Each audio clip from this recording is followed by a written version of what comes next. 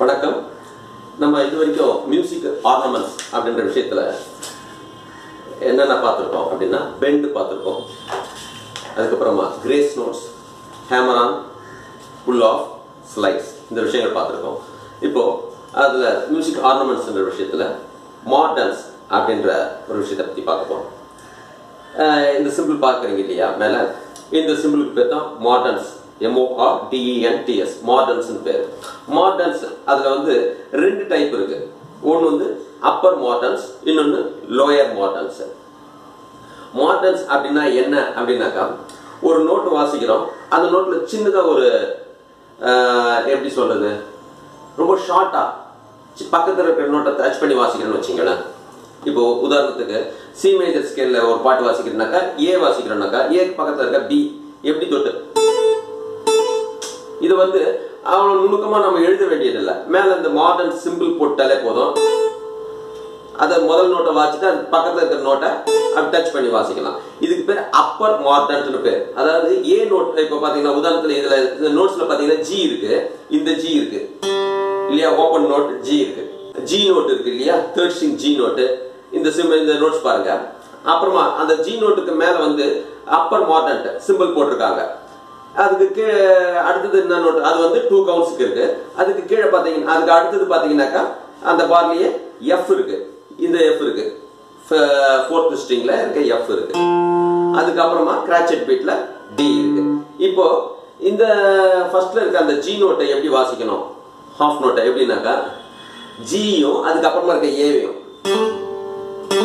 அப்படி வாசிக்கணும். Two counts கேட்கணும் இல்லையா? அப்போ ஒன் டூ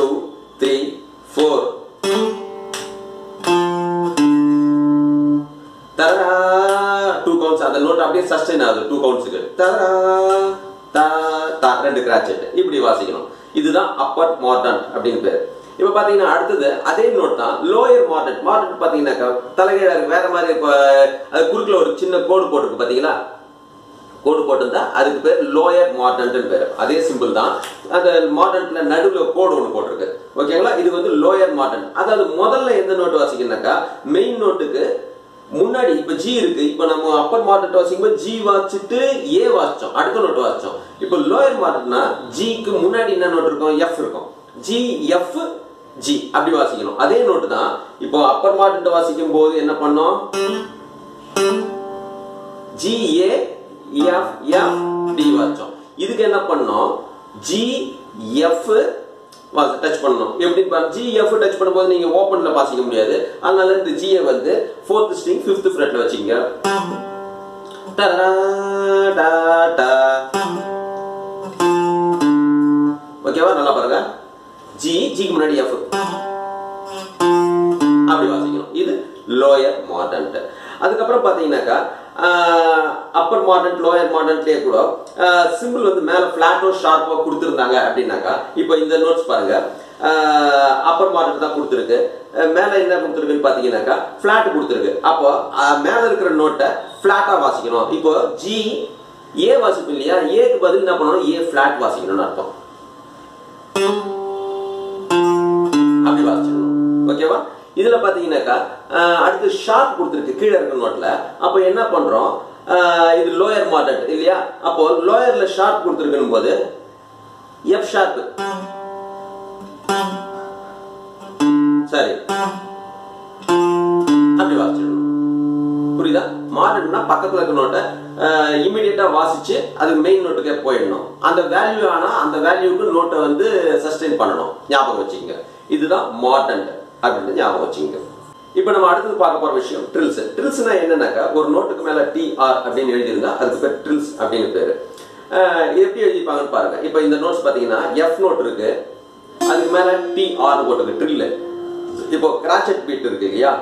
இப்போ கிராச்சட் பீட்ல இருந்தா அந்த எந்த நோட் இருக்கோ எந்த நோட்டோட வேல்யூ இருக்கோ அந்த நோட்டோட வேல்யூல இருந்து எட்டு நோட்டா வாசிக்கணும். அதை எட்டு நோட்டுனாக்கா அப்ப என்ன பண்ணணும்? செமிகோனா நாலு தான் வரும்.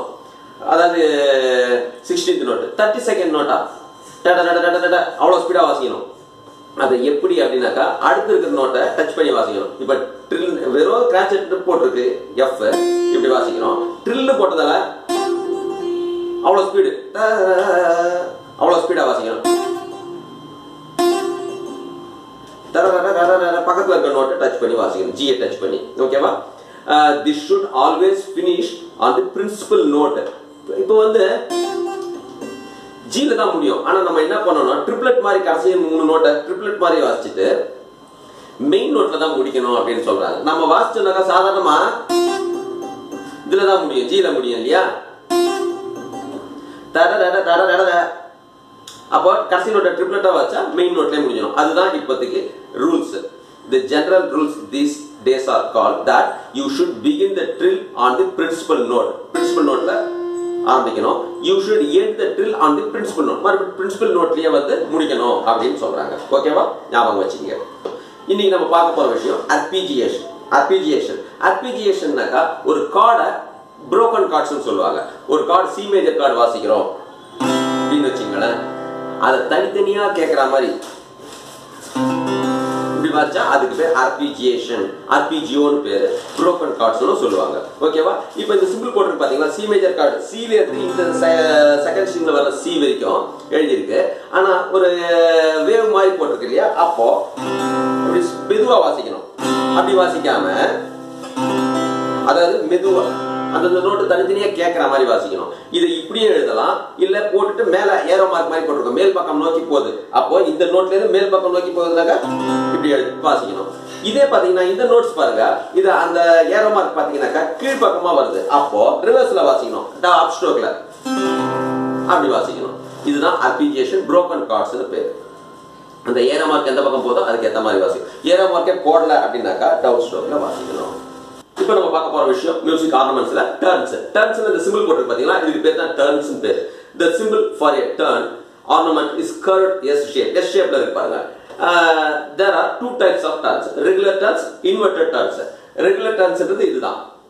இது எப்படி வாசிக்கணும் அப்படின்னாக்கா இப்போ பார்த்தீங்கன்னாக்கா கிராச்சட் பீட்ல இப்படி கொடுத்துருக்கு ஜி நோட்டு அப்போ அந்த ஜி நோட்டை கொடுத்தாக்கா அந்த ஒரு நோட் எந்த நோட் கொடுக்குறாங்களோ அதை நாலா பிரிச்சாக்கா எப்படி பிரிக்க முடியும்? இப்போ இந்த கிராச்சட் பீட்ல இருக்க ஜி நோட்டை நாலா பிரிச்சு செமிக்கோரா பிரிக்க முடியும். அப்போ அந்த நோட்டை செமிகோரா வாசிக்கணும் சிம்பிளா அதாவது என்ன ஷார்ட் ஃபார்ம்னு வச்சுக்கலாம் இதை.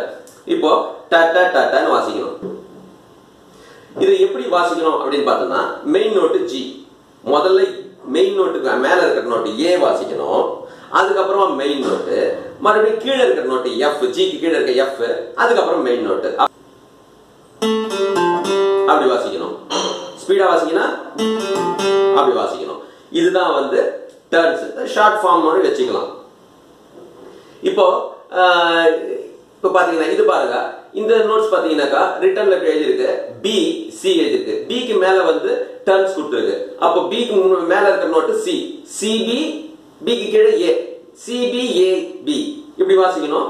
அதுக்கப்புறமா அப்போ இது வந்து பாத்தீங்கன்னாக்கா இது வந்து ஹாஃப் நோட்டில் கொடுத்துருக்கு. அப்போ நாலா பிரிச்சா நாலு கோயவர் வந்துடும் அப்போ நாலு கோய்வர் வேல்யூட வாசிக்கணும் ட ட ட ட. ஓகேவா பார்க்கலாமா?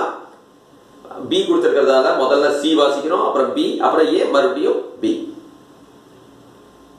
one two three four மறுபடியும் பாருங்க. என்ன பக்கத்தில் இருக்க சி டூ கோன்ஸ் வாசிக்கிறோம் ஓகேவா இதுதான் turns regular turns inverted turns அப்படின்னா என்ன அப்படின்னாக்கா இதை கொடுத்துருக்கு இல்லையா? குறுக்கில் கோடு போட்டிருக்கலாம். இல்லைனாக்கா அந்த டர்னோட அந்த எஸ் சிம்பிள தலைகீழ மாத்தி போட்டிருக்கலாம். இப்படி போட்டிருந்தா இது இன்வெர்டட் டர்ன்ஸ் இதை எப்படி வாசிக்கணும்? இப்ப பாருங்க ஜி நோட் கொடுத்துருக்கு. கிராச்சட்ல இப்ப நாலா வாசிக்கணும்னா செமிகோர வாசிக்கணும். ட ட ட ஒரு தாவத்தையும் நாலு நோட் வாசிக்கணும். அப்ப இன்வெர்டட்னா இப்ப நம்ம சாதாரண ரெகுலர் டர்னுக்கு என்ன பண்ணுவோம்? ஃபர்ஸ்ட் மெயின் நோட்டுக்கு மேல இருக்க நோட்டு இப்ப ஜினாக்கா ஜிக்கு மேல ஏ இருக்கு. ஏ தான் முதல்ல ஆரம்பிப்போம். ஆனா இதுல ஜி கீழே இருக்க எஃப்ல ஆரம்பிக்கணும் முதல்ல. எஃப் ஜி ஏஜி அப்படி வாசிக்கணும். இப்ப பாருங்க. ஜி ஒரே ஒரு கிராச்சர் கொடுத்துருக்கு இல்லையா? டாடா டாடா அப்படி வாசிக்கணும். எஃப் ஜி ஏஜி அப்படி வாசிக்கணும். ஓகேவா இது இன்வெர்டட் டால்ஸ் முதல்ல மெயின் நோட்டுக்கு மேல இருக்கிற நோட்டு கீழே இருக்கிற நோட்டு அப்புறமா மெயின் நோட்டு அப்புறம் மேல இருக்கிற நோட்டு அப்புறமா மெயின் இன்வெர்டர் இது வந்து இன்வெர்டட் டர்ன்ஸ்